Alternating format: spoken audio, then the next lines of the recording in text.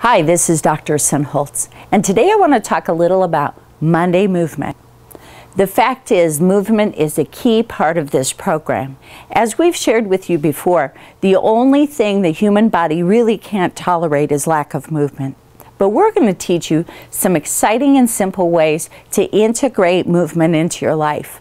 Monday Movement is an opportunity for you to hear from some of the experts in the movement industry, including Olympic athletes, professional trainers, and sports coaches to the stars. You're going to get to know these people personally, and they're going to share with you their secrets and hints for staying on track. Now remember, some of these people are really big physical fitness stars.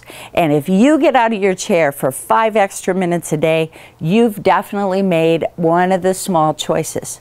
But don't worry, it's going to be a lot of fun. We're going to have a great time. Come join us on Monday Movement.